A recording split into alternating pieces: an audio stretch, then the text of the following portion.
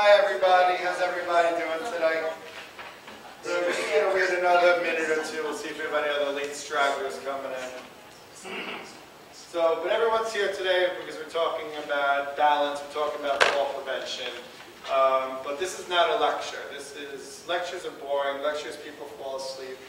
Uh, this is a discussion. This is a uh, open forum. So if anyone has any questions, comments, concerns, suggestions, uh, scream them out, and we'll uh, we'll make it work. But I see a lot of familiar faces here. Thank you for coming out and supporting me speaking for my familiar faces.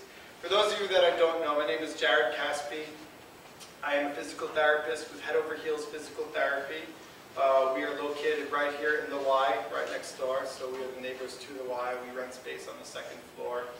Um, October, we will have been there for two years, which is crazy know, I still feel like I'm a newlywed, and I still feel like I'm new at this whole owning a practice type of thing, but so thankfully so far so good. So I'm sure everybody here is familiar with the Y. I know a lot of people in this room right now go to the Y on a regular basis, so good stuff there. Um, a lot of what we do, and with the Y, we have a very large senior population. Uh, looking around here, thankfully everyone in this room is not a senior, so that's a good thing. So, uh, but in a few more years, when we get a little bit older, some of the tricks that I'm going to teach you today, we can hopefully apply. So we're here to talk about balance and fall prevention. So just by a show of hands, who here in this room has ever fallen in their life? Okay. Has anybody here never fallen in their life? Really? Now, when we say life, we go zero to today. Oh, you talk, oh. Whole life. Oh. So falling is one of the things that happens. For those of you that have grandkids and kids, they're the last ones that you remember starting walking. So when these little kids start walking, what do they do? They fall. So me as a physical therapist that works with adults and children, with a lot of the children that we work with, the first thing that we have to teach them, okay, it's very easy to teach a kid how to walk, but you got to teach them how to fall. Who here walks with their hands in their pocket? Anybody? Okay, so for my people that walk with their hands in the pocket, do you guys have grandkids? Do you remember when they started walking recently, somewhat recently? Um, when a child starts walking, what they do is they walk like this. And then as they get more comfortable, the hands come down here, and then as they get older, then eventually the hands come down here. Well, the reason why their hands are up here is because they're going to fall, what's going to break their fall? Their hands. Nobody taught them that. It's something that's done from within. It's, it comes back from when we were all monkeys millions and millions of years ago.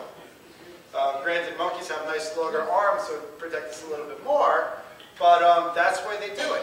So walking and having your hands in the pocket, if we were to fall, what's going to take the brunt of our fall? Our face if we fall forward. If we fall back, back of our head. And granted, cosmetically a fall forward is a lot less pretty. But if we fall backwards, that could be a lot worse. Regardless, we want our hands to be able to stabilize our fall. So that's the first trick to make your balance better. Hands out of the pockets. Now, for my ladies, many times are we walking and we're going through our purse looking for something? Well, when we walk, our arms, they stabilize us. We swing our arms. I'm exaggerating the swing right now. But normally we swing our arms. And what happens, it doesn't happen, it's not a coincidence that when my right leg goes forward, my left arm goes forward. Um, or else we'd be walking like a, uh, a soldier. Um, but the reason why our arms swing is because they help counterbalance us. So every time one leg is coming forward, I'm balancing on one leg, but the other arm is there to stabilize me. So think about walking and holding something. Think about walking and fumbling through our purse or walking and even being on the cell phone. Now obviously it's real life, so to tell everybody to constantly walk, you know, never reach for your keys out of your pocket or never reach for your phone that's ringing in your pocketbook as you're walking, it's not realistic. But it's something that we should keep in the back of our head. So, basically, we're here to talk about balance. So, like I said, this isn't a lecture, it's a discussion. And it's an interactive discussion. So what I always like to do first is start my, uh, my talks with something active. I'm a physical therapist, it's all about getting physical. So I want everybody to put their folder on the floor or the chair next to them or something like that. If you're holding anything, put it on the floor also. 22, you can stay where you are. What I'm going to do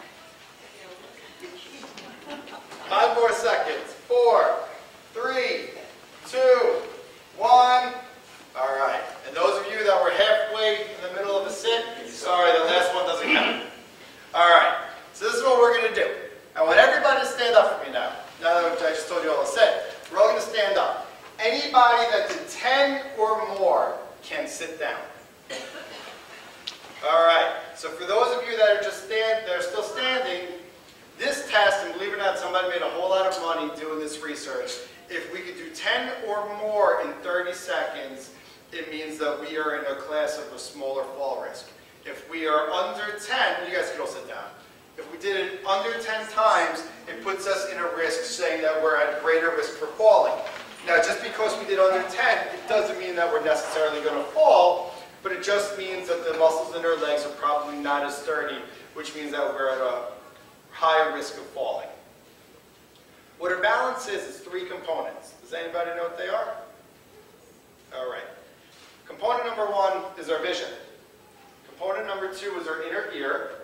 And the third component is our, our legs, our body, our back. Everything kind of from here down. So what we're going to talk about is we're going to talk about all three components.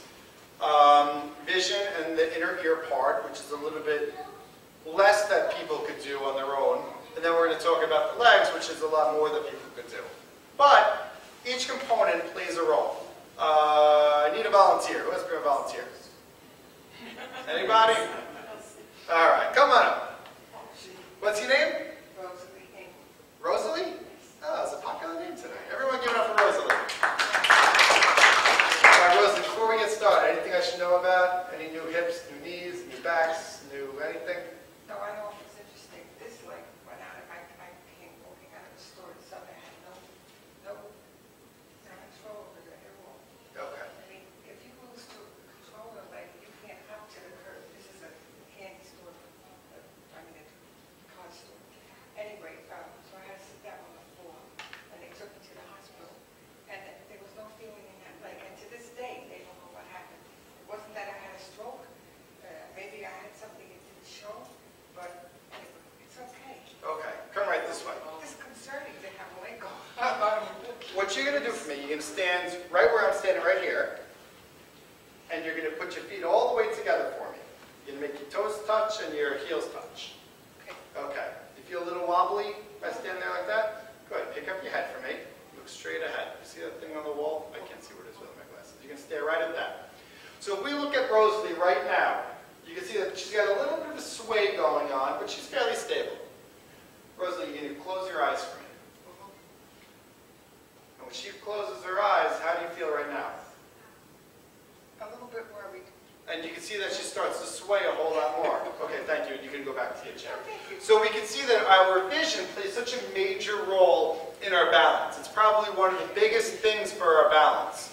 Um, we see things. For those of you that have ever experienced vertigo or dizziness, basically what's happening, your eyes are telling us that our body's in alignment one way, and our inner ear is telling us that our head's the other way. So obviously, as a physical therapist, um, we can't do anything to correct your vision or correct your eyes. But who here's vision's worse today than it was five years ago?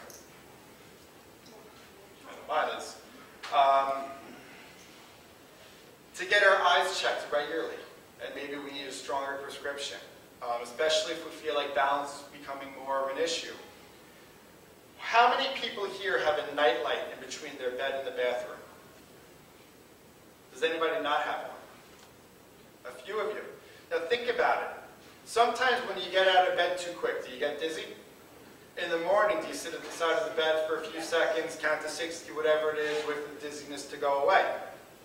In the middle of the night, all of a sudden it's dark. Our vision is doing very little. But if we have to go to the bathroom in the middle of the night, usually people aren't sitting and counting at the side of the bed because, you know, when you gotta go, you gotta go. Um, if there's not a nightlight in between our bed and the bathroom in the middle of the night, vision plays such a major role. So try to walk, you're barefoot or you're fumbling for your slippers, you have some type of rug, some type of carpet in between your bed and the bathroom. You can think about how hard it would be to try to get from one spot to the other. First of all, if it's dark, and second of all, if we're dizzy. Um, so a nightlight is such an easy thing to try to make our eyes better. To have switches in different spots. Sometimes we'll have people that will paint things different colors because our depth perception goes. So let's say if I had to walk up the step right here, well let's say maybe we'll make the floor one color, the step another color. That's why very often steps are different colors because it's a way of being able to perceive where it is in space. So vision is very, very important. Anybody have any questions about the vision with balance? Good. So the second part of balance is our inner ear. Our inner ear is our vestibular system. Everybody's heard of it. Um, but what it does, it helps control our balance. We basically have three canals in there. One goes up, one goes sideways, and one goes down. And fluid goes in there, and depending on the position of our head, it tells our body where we are.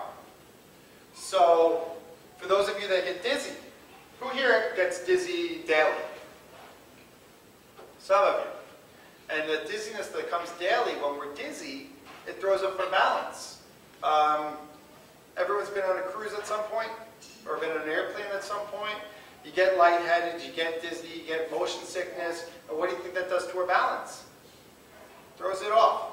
So believe it or not, there are ways to train the inner ear. Um, there are some exercises that you can do. So who wants to be my next volunteer? Anybody? All right, Vicki, come on up. All right. You're going to look straight ahead for me. You're going to put your feet together. Just take a little step forward so you're not leaning back. So the reason why I always bring people to a position with the feet together, if you think about a tripod, do you think a tripod is more stable with the feet apart or the feet closer together? Exactly. So I always tell people go with the feet closer together because it gives a better idea of what's going on balance-wise. Get those toes touching too. All right. All the way together. Make your toes kiss. Perfect. All right, you look straight ahead for me. First, you're going to keep your eyes open. What you're going to do for me is you're going to turn your head from side to side. And what you guys are going to do, I want you to watch Vicky's body as she goes. And if you, from here, I see her feet, and I see the feet muscles are contracting. She feels toe muscles working right now she never even knew she had. But what happens when we do this is we get a little bit more of a sway. So by doing something like this, this is a way of training our vestibular system. If this is too hard, a way to make it easier, now you can bring your feet a little bit further apart. So getting your feet a little further apart, and same thing, you go head side to side. And she's going to sway less in this position. But this is a way of retraining our inner ear to be ready for whatever may strike that may make us dizzy or may make us lose our balance. If that's too easy, then what we're going to do, bring your feet back together for me. Now, if this was too easy going head side to side with our feet together, what do you think the next way to make it harder would be?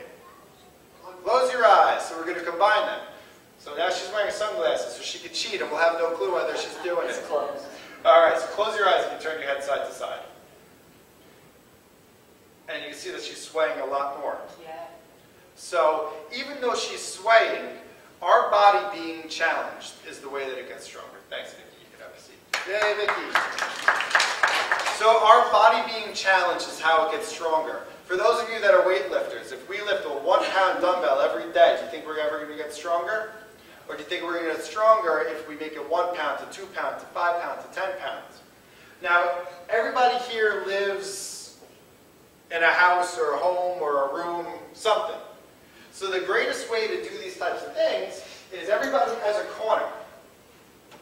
By if we stand in the corner of a room, hopefully there's not an American flag blocking your way in the corner. But if everyone was to stand in a corner and go through these positions, even if we were to lose our balance, what's the worst thing that can happen? We get caught by the wall on one side, we get caught by the wall on the other side. And if this is still unstable, then sometimes we'll tell people to put a chair in front of them. This way, even if they were sway forward, they would have the chair in front of them. So it's very simple to do, and there's ways of making things easier, and there's ways of making things harder. Um, let's say if for Vicky it was still easy standing here, eyes closed, if it's still easy, how can we make it harder? Anyone have any ideas? One foot. One foot would uh, be a lot harder, um, or even standing on an uneven surface. So like in the office, what we'll do is we have different foam pads that we'll have somebody stand on. Maybe we'll have them stand on a foam pad, maybe we'll throw a ball to them, have to reach and catch a ball. At home, if you have like a shaggy carpet, wearing shoes versus wearing no shoes, wearing socks versus wearing no socks, standing on a pillow.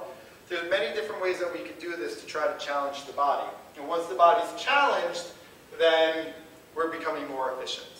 Um, a lot of people think that balance and falls all comes with the aging process. It doesn't have to. Uh, just because we're getting older doesn't mean that we have to become less efficient. Um, you know, we, we see a lot of people that have different conditions, whether it be an MS or something that's more progressive, but our goals are never maintenance. Our goal is always, always to get somebody to feel better. There's always something out there that we can do to make ourselves feel more stable on our feet. So that's our inner ear. But like you said, standing on one foot. Does anyone here have a hip replacement? Okay, for you guys, don't do this. But to stand one foot in front of the other, like a sobriety test. I wondered why that was so hard. Because when we're doing this, think about it. Here we have a very narrow base of support, but our feet are still somewhat shoulders width apart. By doing this, it gets harder because now all of a sudden you've really narrowed your base of support. The hip, The hip replacement shouldn't do this because assuming your precautions are still on, crossing your legs is a no-go, if you remember. Did they tell you that? oh, I- it's 15 years. Okay, so check with your doctor before you start doing this, all right? But um, standing one foot in front of the other is a great way. Does anybody here see the neurologist? And for those of you who see the neurologist, they may, when you see them, check your balance, have you walk one foot in front of the other, and you guys think, what, are you checking to see if I'm drunk or not? Um, but by doing something like this even, if you have a nice long hallway, you're working your balance. Basically, you have a very narrow base of support. Same thing, you can play around, eyes open, eyes closed, even surface, uneven surface, boom. Um, for those of you that come to the Y, we have these long, flat, narrow hallways in the Y, so it's a great place to try all this stuff. You may trip into over a couple of kids here and there, but um, it's a nice, long, flat hallway. The mall, there's so many nice places. Um, the holidays are coming up. They'll be here before you know it. Everybody's going to be in the mall buying presents for the kids, grandkids. Think about walking and, and shopping. Um, you know, oh, look what's over there. Look what's over there. Look what's over there. And for a lot of our patients, when we have them walk and turn their head from side to side, all of a sudden they're veering like crazy. And granted, no one's asking you to do this on a regular basis, but you're walking, you're talking, you're looking at the person next to you. Some of you may slow up. Some of you may even not even notice it. You stop when you talk to somebody. So another idea of what you could do in the house to try to make something like this easier, take um, a deck of playing cards and put them up on the wall. like different, so you have to walk, turn your head, okay, I, I see a six of spades, I see a queen of hearts, I see a jack of diamonds. By doing that, it's another way of making your body a little bit more efficient. What we do where we are in the Y is everything's a different color until we get to one stretch and everything's blue, so it gets easy at that point. But uh, walk, turn your head, tell me what color you see. I see green, I see blue, I see red. We're keeping our vision involved, we're keeping our inner ear involved. So these are some tricks that can help maintain our balance and improve our balance for our vision and our inner ear. Questions? Uh, Is it because I have hip replacement that it's hard to do that? That's one reason it's hard. Um, another reason that's a, it's a difficult position for a lot of people. Um, it's a very difficult position because your base of support is very narrow. Some people may notice that it's easier with one foot in front of the other than the other to switch it. But if it's hard, we can modify it. So if this is easier, take a step forward. It doesn't have to be directly in front. So to even start like this. Sometimes what we'll have our patients do is we'll have them stand one foot on the floor, one foot on, foot on a step. Even holding something like this. Who here has difficulty going up and down the stairs? Is it more because of pain or is it because of lack of balance? Combination of the two. So even just holding this position. You know, a lot of you guys may be holding on two railings if you have them, do one step at a time. But to even hold yourself in a position where we have, if we have a railing, to hold on with one foot on the step. Okay, let's practice. Now I'm going to lift my arm a little bit. I'm going to hold it. So this is very similar to the position of standing one foot in front of the other, but it's functional. It's functional because we have one foot in front of the other. You okay? Okay? Okay. All right. Need some water? I just... It's a club. Okay. As long as you're talking and breathing, we know you're. Yes. Um, so, functional positions. For those of you that have a curb at home, maybe there's a one step to get over the uh, over the railing to get, or, or to get the patio to get into the house. So to practice standing, one foot on there. And if you have a, a spouse or someone that can stand next to you to make you feel protected, then you can do that too. Um, but there are different ways that we can try to do it more functional. So the third part of our balance is our, our bodies, everything other than this. Our legs, our feet, our hips, our knees, our ankles, they kind of do the trick. So who here has pain? Loaded question. All right. So pain is such a debilitating thing where pain can be a big cause of balance issues. Um, pain, arthritis, stenosis, rheumatoid arthritis, tears, sprains, whatever it may be. There's so many things that cause pain. If my right leg hurts, how do you think I'm going to walk? Yeah. And how do you think this helps my balance? All right, so one of the easiest ways to control our balance from our legs, first of all, if pain is the issue, control the pain. What do you guys do when you have pain? Biofreeze. Biofreeze. Come see Jared's another good answer. Um, but biofreeze, so topical ointments. What, el- what else do people do for pain? Advil, Aleve, Tylenol. What else we got? Heat, ice, massage. Okay. Anything else? A brace can help. Anything else? What else can help for pain? There's one answer I'm looking for. I'll, I'll give you a hint. It pains me that no one said this answer. No. Well, not therapy, but I'll give you a hint. It starts with an E, and it rhymes with exercise. Oh, exercise! Exercise! So all you guys that have pain, no one does exercise for their pain? You're afraid sometimes to do it because you may hurt it more. Right, we're afraid. We're afraid, and that's why people don't do exercise.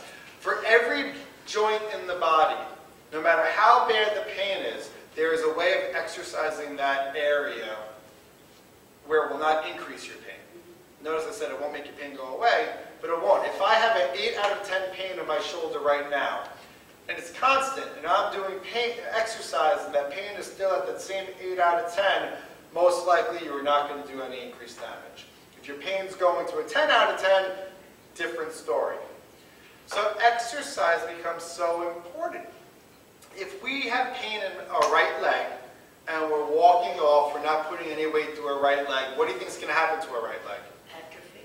It's going to atrophy, it's going to become weaker. But at the same time, we're afraid to exercise it because we're afraid that it's going to hurt. So what happens as a result?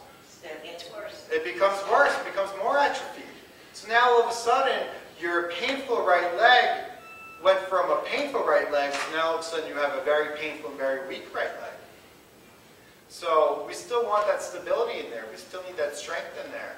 So there are ways to get yourself stronger. Now, obviously, I'm not saying that physical therapy is the answer for everything. Everyone here does have their medical doctor. If you're having pain, pain is not normal. No matter how much people think it's pain, and I have a couple people that are so happy because they have pain. Because they say if they had no pain, they would think they were dead. But um, pain is not normal. Pain is our way of our body telling us that something's not right. So everybody here has their physician, their orthopedic, their physical therapist, their massage therapist. Everyone here has somebody that they trust. Go to that person and see what's going on. What and it's not so much what's causing pain. A lot of our patients, they always want to know what's going on. But what's going on is important. But the second part, when you see your doctor because there's an issue, besides what's going on, what's the second most important question to ask? What can you do about it? And you know, so many times we'll ask our patients, how did it go with the doctor? Oh, it was awful. He said that I had rheumatoid arthritis. All right, so what do you recommend? Actually, you know, we just talked about that and I left. When you see a doctor, I know a lot of times people feel like they're rushed. You know, it's like you're being sent to the principal's office. You have uh, a minute and a half to state your case, and that's that. Write down your questions on a piece of paper. Does anyone here do that already? They write their questions down? Good. Because you know everybody does it. Oh, I, I forgot to ask him this, I forgot to ask him that. It'll take you a couple of minutes to write down these questions. You sit down and say, listen, doctor, I have these questions. I want to... And I have patients that do it. I have patients that scribble it down and they try to make it out. Say, you know, I forgot what I wrote down. I know I had a question for you. It is such a good thing to do. I mean, you know, nowadays, where 30 years ago you would see your doctor, your doctor would say, take this pill, and that would be that. Nowadays, you go to your doctor, your doctor says, well, these are your choices. We could do either A, or B, or C, or D. And it's confusing because they're the ones that are educated. We're the ones that are educated, coming up with a course of action for you, but somewhere along the line, instead of it being um, being told what to do, it becomes more of a discussion. Which we like because rather than give somebody a cortisone injection or give somebody surgery, give them the option of would you like to try physical therapy? Would you like to try aquatic therapy? Would you like to try um, these injections before we rush into doing surgery? And we like that. But take your time. Don't feel rushed when you go in there. Because once you get that pain controlled, and there is a way to control it, believe me, there is, then you could worry about getting those muscles stronger to help with their balance and help prevent any falls. Uh, if we have a bumped right knee and we fall on our left knee, that's not going to be good for anybody. But at the same time, for those of you that have had more pain on one side at any given point, I'm sure at some point your other leg started to hurt because you're compensating on it. So that's why it's very good to get both legs strong. So it's okay to use heat and to use ice and to take a pill, um, but exercise can play a role. Um, all right, let's get everybody to stand up again. Now, for those of you that do not feel comfortable doing this next one, uh, please don't do it. What we're going to do next, what I'm going to ask everyone to do, for those of you that have a chair in front of you, hold on to it. For you guys in the front, please don't do this if you don't feel okay to do it. Uh, but what we're going to try to do without holding on is stand on one leg like a flamingo. Don't do it yet, because I want to time everybody. Let me go back to my timer. Now basically, I'm going to do, I'm going to count out loud, and you just, uh, whatever number I say, you'll just remember at what number you had to stop. Let's stand on our right leg first. The left leg's going to be the one in the air. All right, everyone get ready. Let me come up here so I can see all my beautiful flamingos. Ready, set, go. One, two, three, four, five, six, seven, eight, nine, ten. And relax. Okay. Who here was able to hold it for 10 seconds? Hold it on. Without holding on. Who's Without holding on. Who was able to do it for 10 seconds?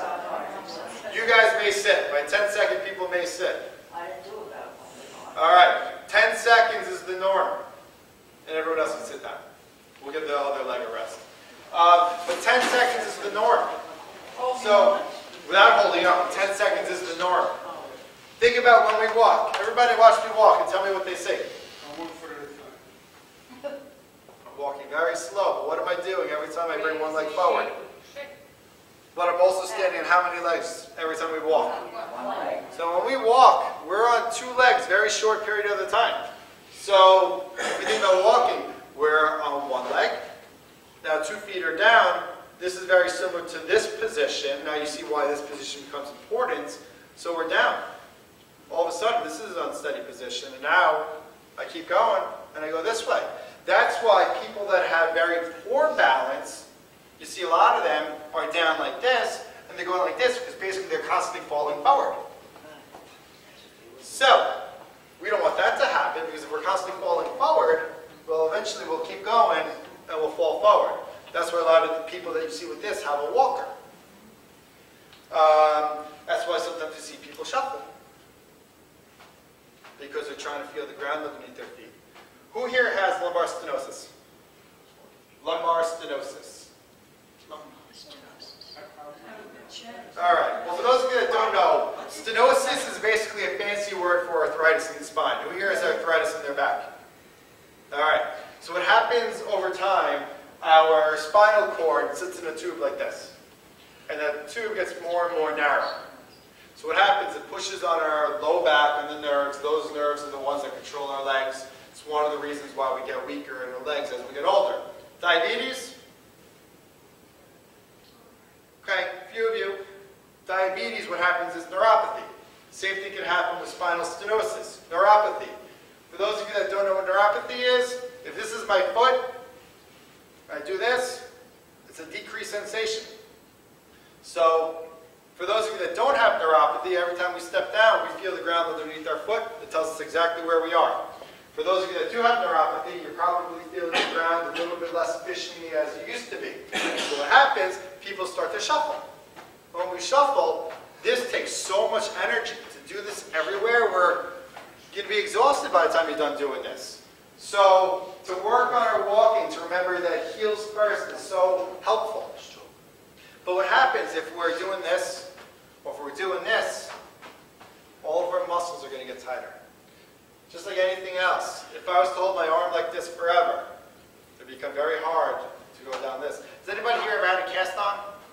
For anything? A cast or a brace? And once it comes off, what happens to that, that limb? It's stiff. It doesn't want to move. For those who've ever had shoulder surgery, and you've been, dis, you've been disabled, or you've been down here for a while, then all of a sudden you go to therapy and you think we're nuts because we're the first one to move your arm up. Um, your body gets used to it. So we, nothing in life is calling us back. Nothing in life is pulling us back. The phone's ringing, we go forward. The car's in front of us, we go forward. There's a sale at the store, we go forward. So what happens? Everything is forward. So what becomes the other big part of balance? Our Stature. Posture! All right, so our posture is so important. As I see, whenever I say that, I always see other adjust themselves in the chairs. All right, everybody go back to the slouchy selves. Pretend that I never said the posture word. All right, I want everybody to turn their head to the right as far as they could. And I want everyone to pick a spot on the wall, on their neighbor's head. Everybody just pick a spot with their eyes. All right, everyone's going to look straight ahead again. Now, when everybody sit up nice and tall, shoulders back, tongue as tight as I see everybody go. Now turn your head to the right as far as you could again. And everybody's head should be going more than it was. So our posture is such a big thing. Homework assignments. First one. When you get in your car to drive home, adjust your mirrors. Sit up nice and tall. So tomorrow morning when you're driving to the library or to the Y and you're wondering, why can't I see the cars? Don't adjust the mirror, adjust yourself. That's such an easy thing to do. Because I, I do it too. Hey, you know, I, it's very hard to always practice what you preach. Yesterday I worked from 7.30 in the morning, I didn't get home till 9 o'clock at night. And uh, driving home, why can't I see anything? And I realized, oh, it's because, here we go. So, when you're sitting there at a red light, pull your shoulders back, sit up tall. Uh, when you're watching TV, keep your shoulders back, sit up tall. When you're doing anything, try to watch your posture, and you'll see. Think about if you're walking and talking to one of your friends. Well, there's the difference between being able to turn your head this far versus being able to turn your head this far. It helps so much. The better your range of motion is in your neck, the better it will help with their posture, the better it will help with their walking. Because their head's leading the way, our body's following.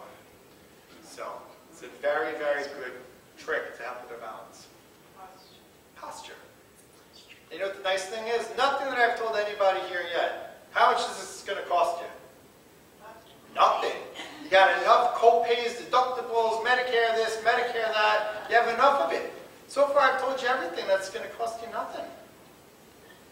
It's just a matter of remembering to do it, but uh, that's the story with everything else. Uh, anyone have any questions yet? So far so good? All right, so the next part, yeah. The balance bit, is that something that improves the purpose?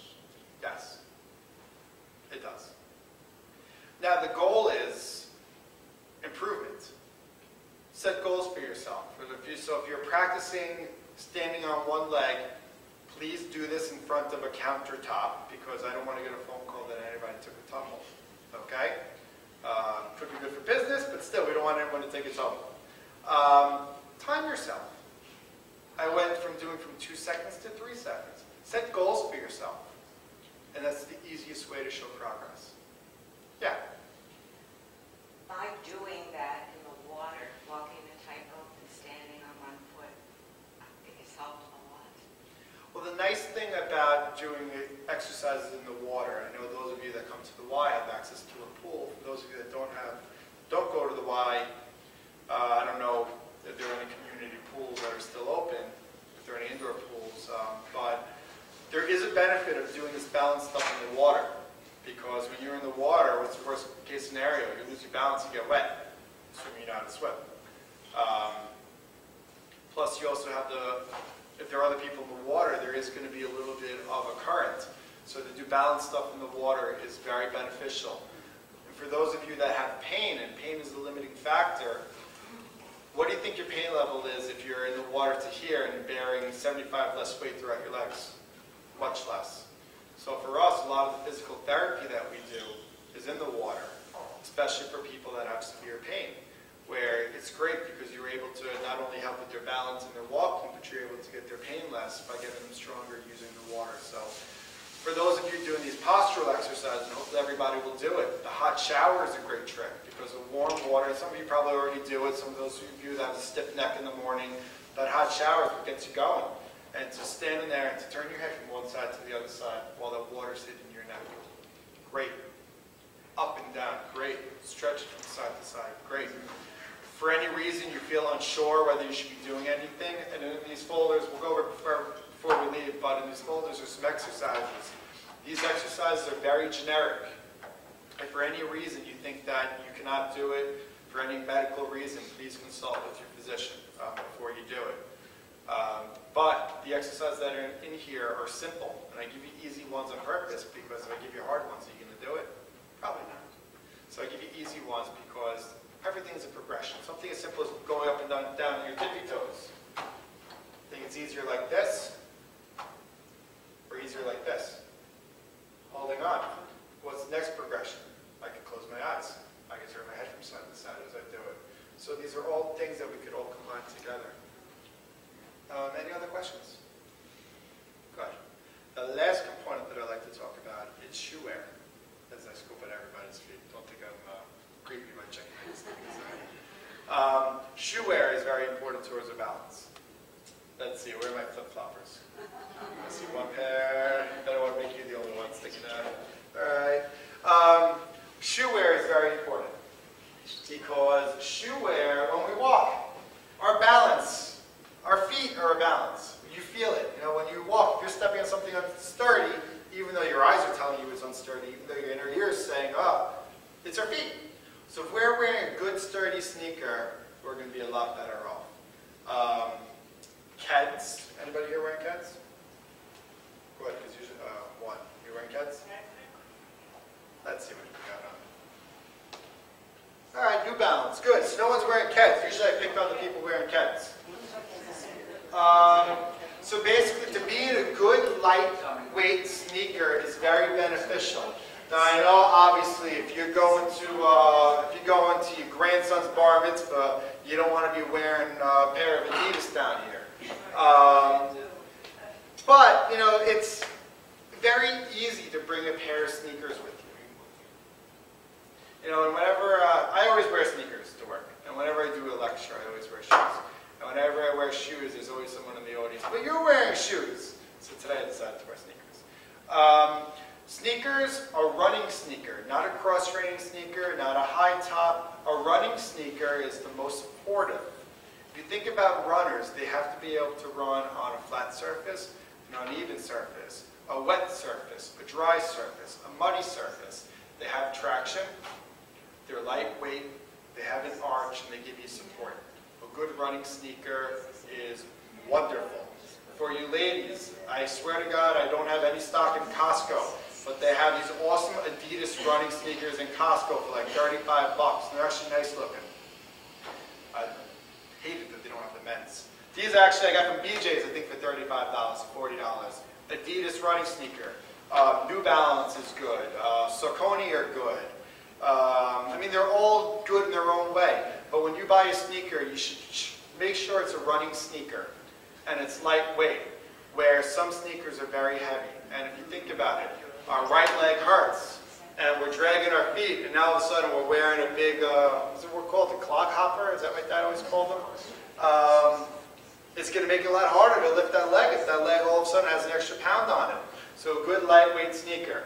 That doesn't mean you can never wear a flip-flop, but be prepared. If you know that you have to go to a uh, barbecue on the sand at the beach, you probably are going to want to wear a flip-flop.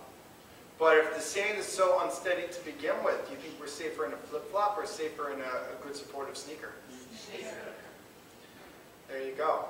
Um, I'll be honest, I hate bringing my sneakers to the beach. You get sand in your shoes, who wants that? But at the same time, it doesn't mean you can't bring a pair of flip-flops with you, just be prepared. You know, to have a pair of sneakers with you. For the women, because I know it's always more women in shoes than men in shoes. Um, when you go to a wedding or when you go to a function, do you ever bring, bring a pair, a change of shoes with you? Not sneakers. But do you bring a second pair with you to change into at the end of the night?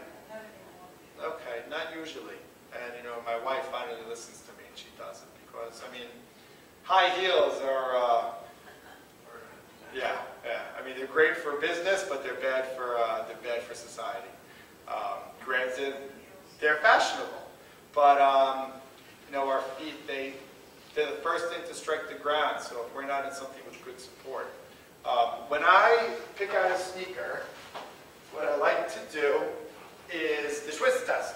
So if you take your sneaker, and you'll feel right away if it's light or not. When you're buying sneakers, if you try to twist it, there's going to be a little bit of movement in the front, but right here where the arch is, you want very little movement. And this thing barely moves. And this sneaker is so lightweight. If it didn't smell bad, I'd let you hold it. Um, but um, sneakers is so important because shoe wear really will keep you stable. And sneakers are something that will last you a while. And as much as people don't think they're fashionable, they come in pretty colors nowadays. So. Questions? You said you should not wear uh, flip-flops at all, or do you, uh, or that's basically what you're saying? Ideally, yes. Granted, if you're walking from the locker room to the pool, you know, I know that the men's locker room at the Y, I mean, I almost killed myself regularly, and I'm in the pool almost daily, and I should learn, learn my lesson and wear sneakers in there instead of flip-flops. Flip-flops do not have any traction on the bottom. So if you think about being in a wet area wearing flip-flops, I mean, it's very dangerous. Uh, but at the same time, who wants to put on sneakers wet? So to have sneakers, have a towel to dry your feet, ideally flip-flops, Crocs, those are like a PT's nightmare. Yeah, How do you feel about these inserts for shoes and sneakers? Orthotics, orthotics are good. What happens, um, it happens more to women than men, but um, most people, as we get older, don't become bow-legged. They become more knock-kneed. And that happens because gravity, as much as we love it, because it keeps us from floating up to the ceiling, it brings everything down. So it brings us this way. As this happens, our feet become more flat. So that's why we talk about a sneaker with a good arch support. Now, if our arches are severely collapsed, then an orthotic could be something that could be beneficial because what it'll do, it'll bring our feet from being super flat giving us a little bit more stability and a little bit more sturdiness. And that will help with any knee pain, hip pain, and sometimes back pain. Where we're, I've had a number of patients where severe back pain all of a sudden, you know, especially salesmen that are on the feet all day long, um, they have to wear shoes. But if you put uh, arch support in a good shoe, you can turn it all of a sudden into like a sneaker. So yeah, um, again, I'm going to say Costco because that's what I talk about. But Costco, they actually have these inserts right now that I think they're cuttable and they come in different sizes. So uh, nice thing is if they don't work, they take everything back. So um, to start getting into customized orthotics, it, it's costly and there's not always a guarantee that it's going to work. Um, so I would suggest if anybody thinks orthotics may help them out, go for a Dr. Scholl's or go for the whatever one you see that where you could cut it. I know that some Walgreens now, they have these stations where you stand on them and they make like some kind of prefabricated thing. Um, if your insurance isn't covering an orthotic, uh, don't go seeking one out right away because it could cost you five, six hundred dollars. And what you're gonna do is you're gonna do this. You're gonna say, are you kidding me? Five hundred dollars for this? That's what you're gonna do. But hey, for some people, the custom ones work very well. I had the the heel spurs and they did help. Good. Good.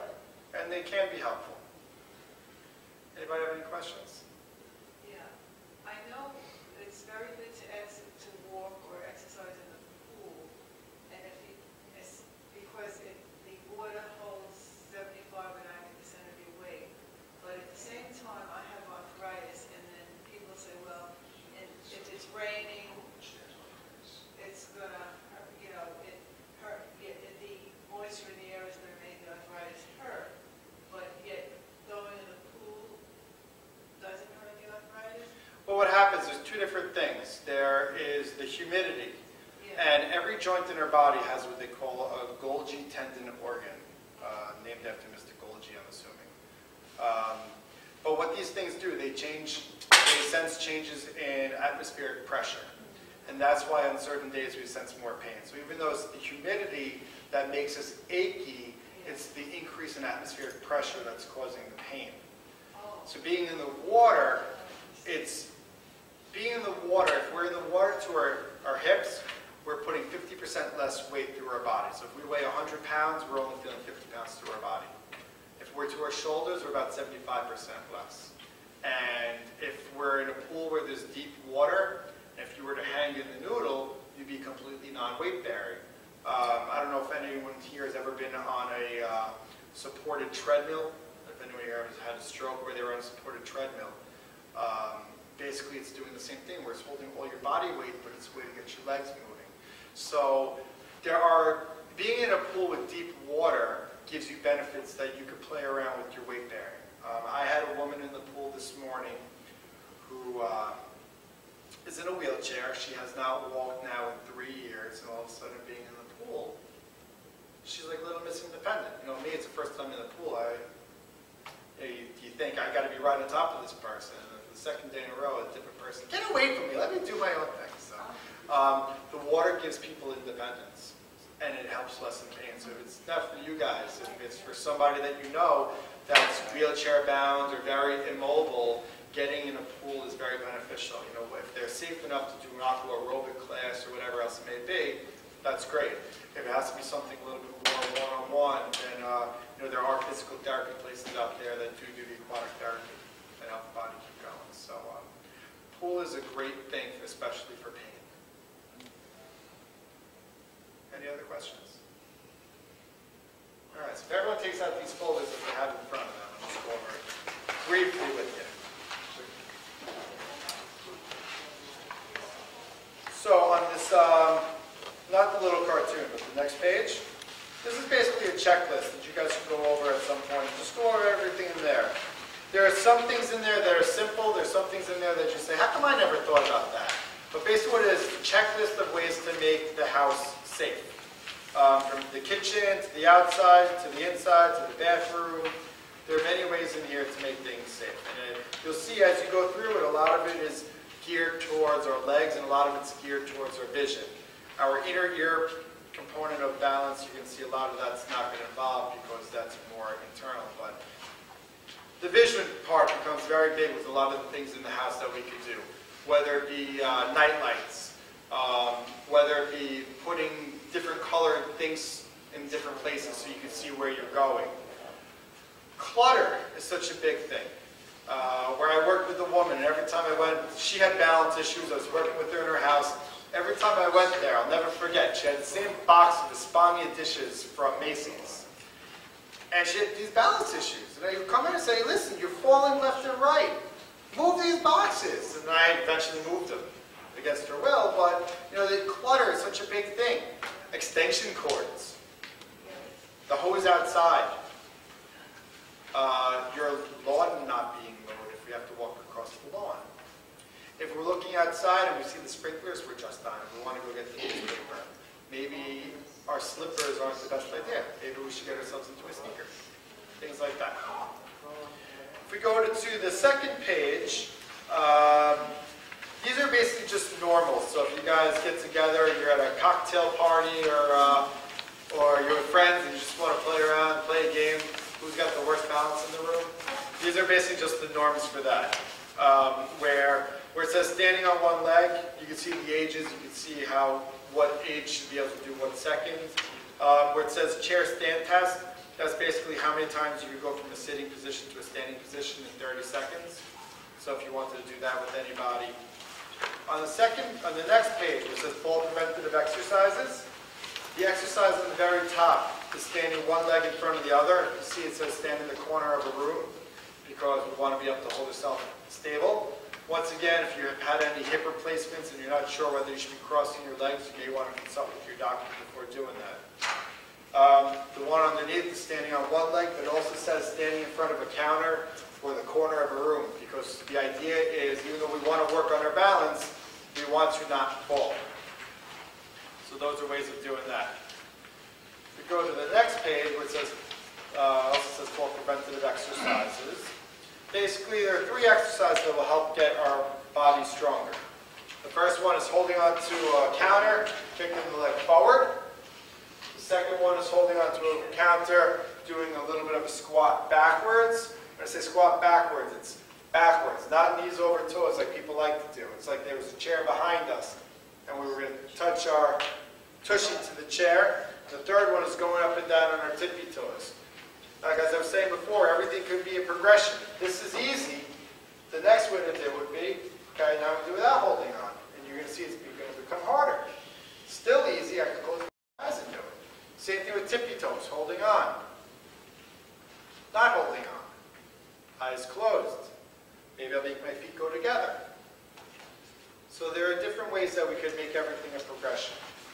And the last page in here is just some information on balance and uh, a little bit about what balance becomes off. But uh, the one thing that's not in here that I wish I remembered to put in there is uh, for our inner ear, head movements. That is the best way to retrain our inner ear to make it more efficient with our balance. So whether you were standing and would turn your head from side to side or up and down, just to uh, incorporate something like that into our diet and that will make a difference. Yeah. They have those loose crystals, is that advisable to do? Yeah, with the loose crystals, if somebody has like a, a vertigo, um, these are very similar exercises that you would go to if you received a vertigo treatment. we do them all the time.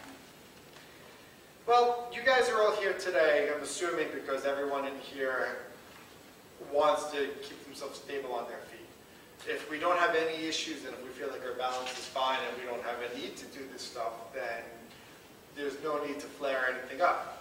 But if we feel the need to get our balance better and to keep ourselves more stable, that becomes a different story. Any other questions?